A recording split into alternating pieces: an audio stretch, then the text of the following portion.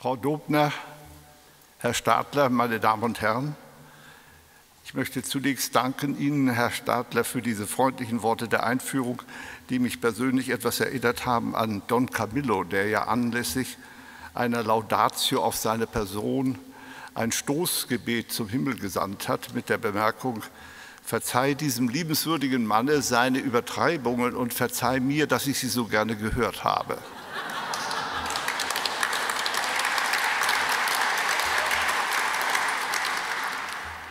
Meine Damen und Herren, erlauben Sie, dass ich zunächst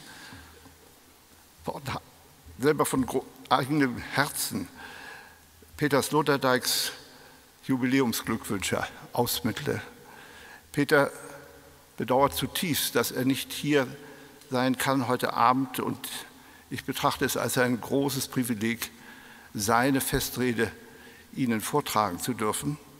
Eine Festrede, die er gegliedert hat in vier Kapitel mit einer Einleitung und die im Grunde die Gegenwelt darstellt zum großen Begriff ihres Jubiläums der Ordnung, nämlich den freien Fall in die Unordnung, in das Chaos, womit diese Rede in einem kryptischen Zusammenhang steht, wie ich meine, mit seinem großen Buch mit dem Titel die Kritik der zynischen Vernunft, wo er in dem großen Goethe-Kapitel hingewiesen hat auf die Gestalt, auf die Gegengestalt zu dem Thema ihres Jubiläums, auf Mephisto, der sich ja selber empfiehlt dort in der Fausttragödie mit den Worten, hier stehe ich schon, des Chaos vielgeliebter Sohn.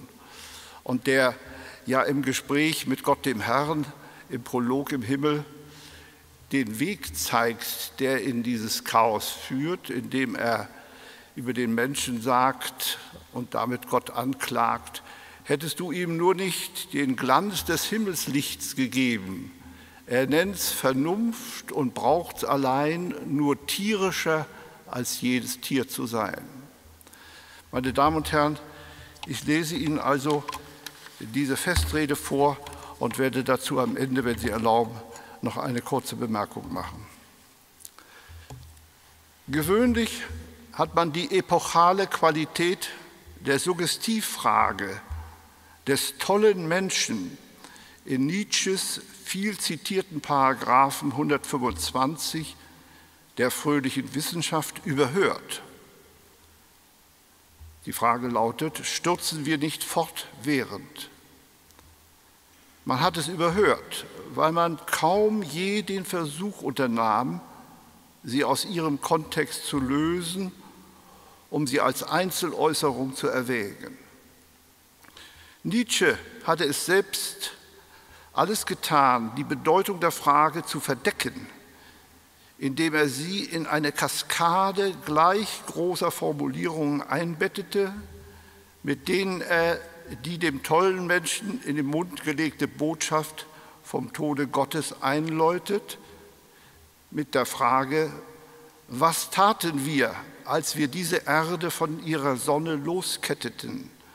Wohin bewegt sie sich nun? Wohin bewegen wir uns? Fort von allen Sonnen? Denn stürzen wir nicht fortwährend und rückwärts, seitwärts, vorwärts, nach allen Seiten? So unerhört jede einzelne dieser Wendungen sein mag, im Rückblick wird erkennbar, dass die Frage, stürzen wir nicht fortwährend, eine alles betreffende Diagnose zum Seinsmodus der modernen Welt impliziert. Und zwar, indem sie in der durchschnittlichen Art und Weise des aktuellen Daseins ein ständiges Gleiten und Stürzen konstatiert. Nach vorn bedeutet hier weg von der alten Mitte der Sicherheit, weg von allem, was vormals Zustand, Maß und guter Grund gewesen war. Wenn Sturz und Überstürzung eins sind, ist Gott in den Vehikeln dieser Bewegung tot. Wer dem unheimlichen Bild vom Sturz nach vorne den Vorzug gibt, erscheint in den Augen der Fortschrittlichen wie ein boshafter, blinder Passagier an Bord eines Schiffes, das dank der Arbeit der anderen zielsicher der hellen Zukunft entgegenfährt. Wer hingegen an einen garantierten Fortschritt glaubt, ist in den Augen derer, die überall den Sturz nach vorne spüren, ein schlafwandelnder Philister, der schon vom Dach gefallen ist und noch im Sturz den Vorwärts liest. Wenn also Madame de Pompadour sagt, nach uns die Sintflut, wenn der tolle Mensch fragt, stürzen wir nicht fortwährend, so nehmen diese Kommentatoren eine Anleihe bei der Grundstimmung des jüngeren europäischen in der Weltseins, wonach die Verhältnisse im Vergleich zu älteren Befunden über das Ständische und Stehende stark in Bewegung geraten sind. Trunken soll jetzt das Schiff im Ganzen sein, nicht mehr nur der torkelnde Matrose, weil in der Moderne die Traditionsfäden reißen nimmt das Risiko fortwährend zu, dass die Individuen zu Kindern ihrer Zeit unbekannten Typs werden. Und in der Regel werden sie es in dem Augenblick, in dem der, der die Epochen trennende Abbruch der Filiation sich in ihre Psyche einprägt. Das heißt, als nach dem revolutionären Einschnitt der französischen Revolution mit einem Mal Zehntausende, Hunderttausende, ja Millionen analoger Filiationsrisse sich summierten, weil die neuen addierten Subjekte als Legionäre des Augenblicks mobilisiert, sich in ihre vermeintlichen oder gebotenen neuen Chancen stürzten, als Emigranten, als Unternehmer, als politische Rebellen, als Scharlatane, als Verbrecher, als Künstler, als Sportler, als Vorsprecher von Bewegungen, als Kolumnisten, ja als Chefredakteure und als Parteiführer. Da wählte das vorbildlose und massenhafte Amalgam aus Ansprüchen auf erhöhtes Leben einen konventionellen, unauffälligen und plausiblen Namen, hervorgegangen aus dem revolutionären Hiatus, stellte das Ensemble der Geschöpfe des Diskontinuums sich selber als die sogenannte bürgerliche Gesellschaft vor. Kapitel 1 Im freien Fall die Freiheit. Die Labilisierung die Destabilisierung der bürgerlichen Filiationen spiegelt sich im Aufstieg des Begriffs Freiheit zum theoretischen Leitwort und ethischen Leitwert der Kulturen nach dem Hiatus der Französischen Revolution wieder. Im Klima der Desorientierung gedeiht das Pathos der Wahlfreiheit am besten. Nur die Entkräftung der Vergangenheit bewirkt, dass Menschen sich selber frei wählen oder erfinden. Die Freien sind nicht nur jene, die einen Herrn abgeschüttelt haben. Sie sind auch die, die man ohne Erklärung auf offener Straße stehen gelassen hat. Allerdings fragt man sich angesichts der Dynamik der technisch-wissenschaftlichen Zivilisation, was denn die Freiheit noch ausrichten kann und ob inzwischen nicht die Logik der Sachen längst gesiegt hat und man dabei ist, von der eigenen Zivilisation verbrannt zu werden, wie das Arnold Gehlen einmal formuliert hat. Ist vielleicht dieser Zivilisationsprozess selbst zu etwas Unheilvollem und deshalb Bösen geworden? Hat der Mensch sich mittels der Zivilisation von der Natur emanzipiert, damit nun die Zivilisation sich ihrerseits vom Menschen emanzipiert? Stecken wir inzwischen machtlos in diesen Prozessen wie in einer Lawine, die unaufhaltsam zu Tal donnert? Kapitel 2. Die schiefe Ebene oder der zivilisationsdynamische Hauptsatz. Wer vom Offenen spricht, rührt an das Grundgefühl unseres Weltalters. Die Dimension Offenheit aber klafft vor allem nach vorne auf, beziehungsweise nach vorne unten. Die Jahrmärkte haben hierauf seit längerem reagiert und setzten kreischende Menschen in Selbsterfahrungsmaschinen, die man Achterbahnen nennt. Auf instinktive Weise weiß waches Leben unfreiwillig mehr, als ihm lieb sein kann, von den Verlegenheiten des Daseins auf der nach vorne geneigten schiefen Ebene. Der Grad des Neigungswinkels unterliegt dem Streit. Den nennen die höflichen Politik. Die Unmöglichkeit, moderne Welt- und Lebensprozesse mit Hilfe von Symmetrieforderungen und Gleichgewichtsmodellen zu begreifen oder gar zu steuern, prägt sich dem zeitgenössischen Empfinden in allen Gebieten der Wahrnehmung mit zunehmender Dringlichkeit und wachsender Unheimlichkeit auf. Sogar im Lager der unentwegt Progressiven beginnt man allmählich zu verstehen, dass das Chaos die Regel ist, von der die Ordnung die unwahrscheinlichste der Ausnahmen bildet.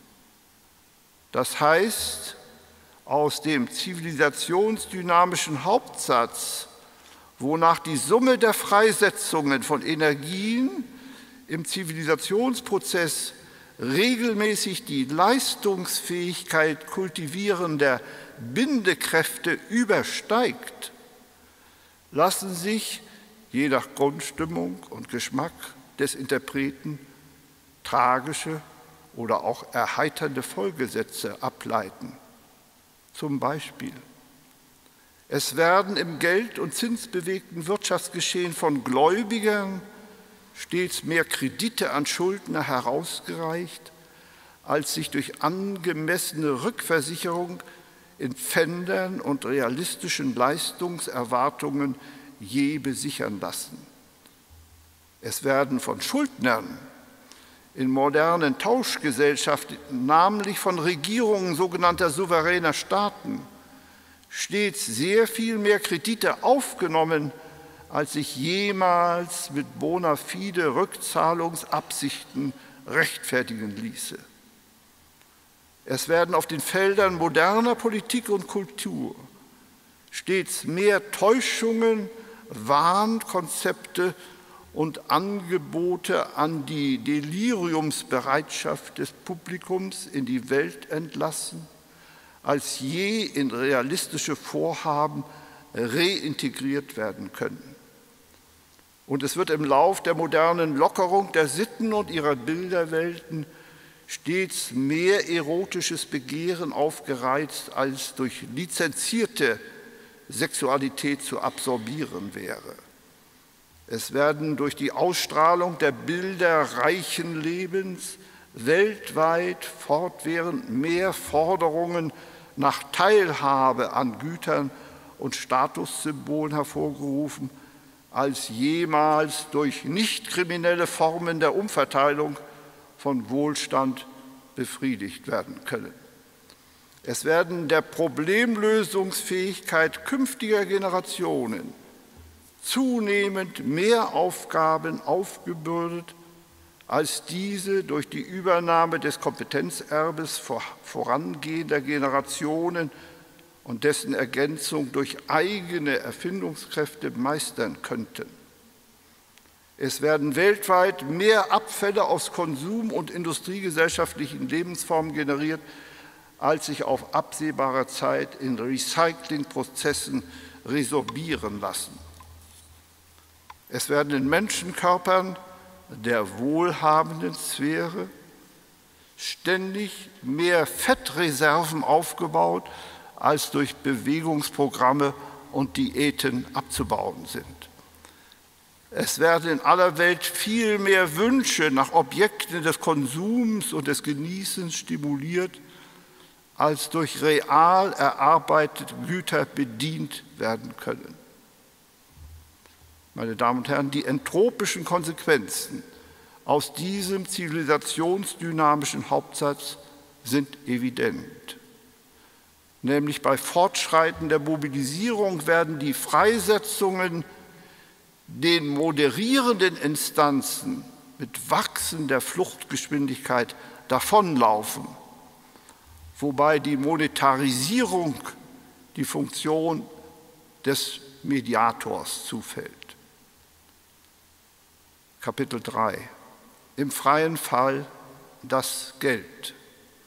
Am 15. August 1971 gab der amerikanische Präsident Richard Nixon die Abkehr der Vereinigten Staaten vom Prinzip der Golddeckung des Dollars bekannt an eben dem Tag, an dem die katholische Kirche die Aufnahme der Mutter Gottes in den Himmel feiert, begann vor den Augen der ganzen Welt die Höllenfahrt des postmodernisierten Geldes. Das geschichtemachende Novum, das mit der Schaffung des Bretton Woods-Systems besiegelt und durch seine Außerkraftsetzung nach einem Vierteljahrhundert umso mehr offengelegt wurde, bestand nicht so sehr in dem Regelwerk als solchem. Es lag vielmehr in der Entdeckung, wie es gelingt, ökonomische Expansion, in aktueller Terminologie heißt das, das sogenannte permanente Wachstum, vorübergehend auf Dauer zu stellen, ohne sich über die Möglichkeit globaler Rückschläge vom Typus der großen Depression größere Sorgen machen zu müssen. Da aber ein Wirtschaften jenseits der altehrwürdigen Gleichgewichtskonzepte logisch und moralisch immer noch nicht denkbar erscheint, obschon es praktisch längst vollzogen wird, erlebt sich die Welt im Ganzen ökonomisch, politisch, kulturell und alltäglich in einer chronischen Drift zu schwindelerregenden Zuständen.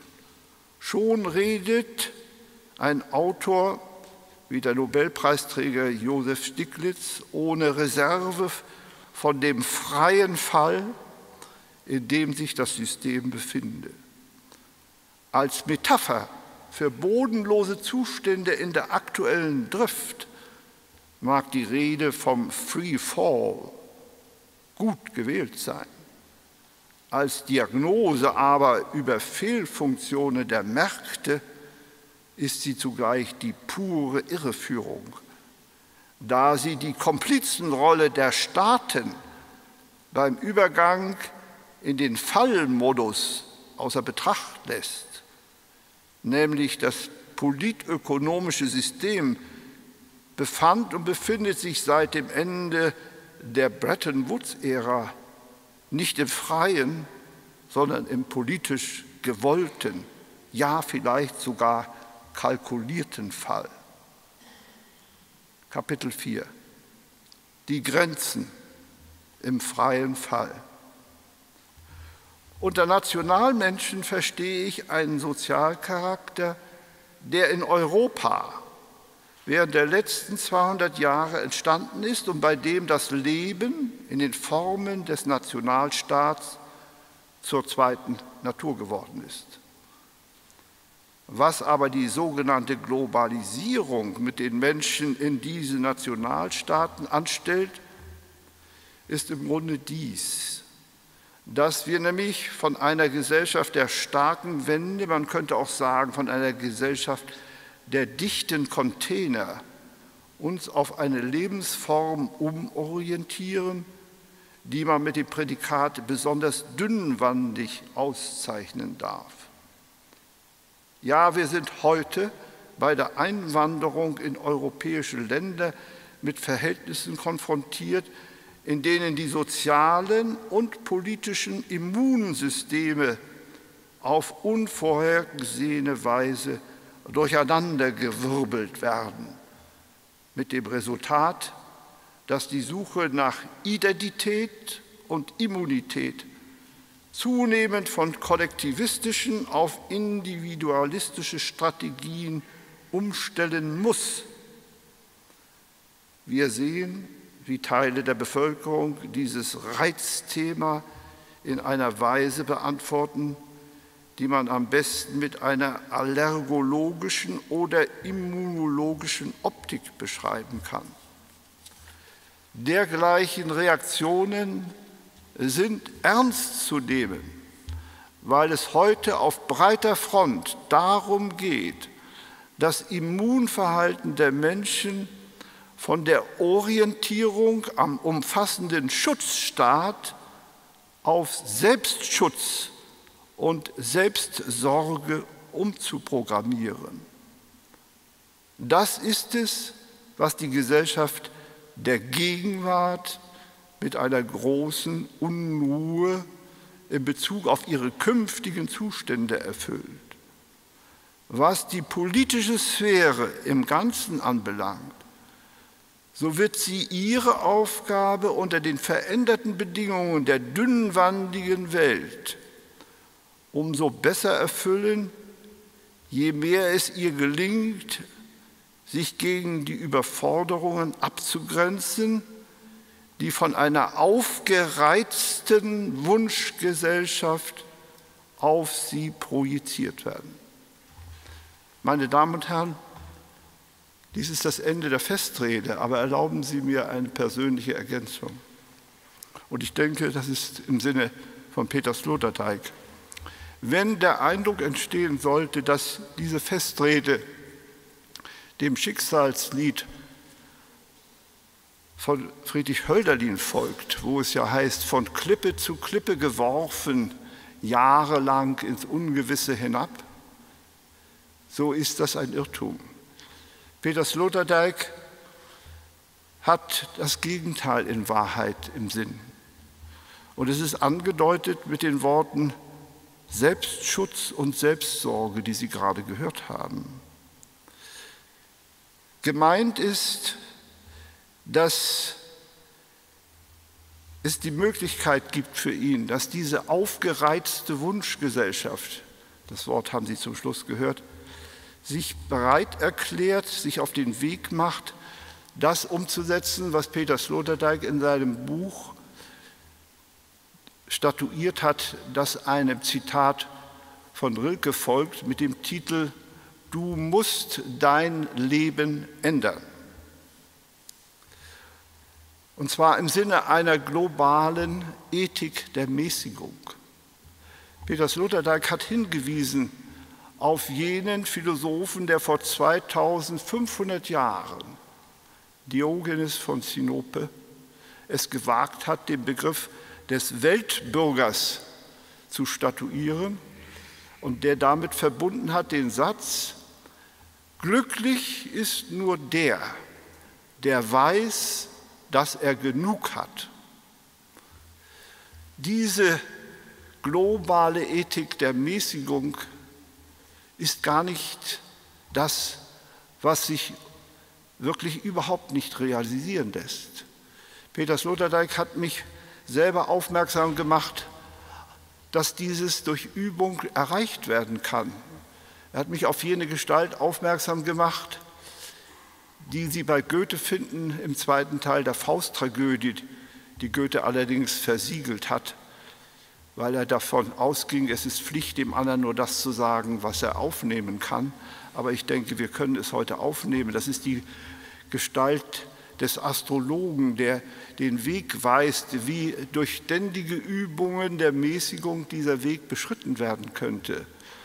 Im Augenblick, in der eine hedonistische Gesellschaft, die im Grunde bereits sich im, ja, in einem Zustand befindet, in der sie Geldschöpfung vollzogen hat, ohne irgendeine Wertschöpfung in Gestalt von Papiergeld an, an der Kaiserpfalz und die sich nun mit diesem virtuellen Geld die Taschen vollgestopft hat, tritt plötzlich der Astrolog auf und sagt etwas, was ihn unbeliebt macht, aber ich möchte es Ihnen trotzdem sagen. Er sagt, wir müssen, erst müssen wir in Mäßigung uns fassen, das Obere durch das Untere verdienen. Wer Gutes will, der sei erst gut. Wer Freude will, besänftige sein Blut. Wer weinen will, kältere selber reife Trauben. Wer Wunder will, stärke seinen Glauben.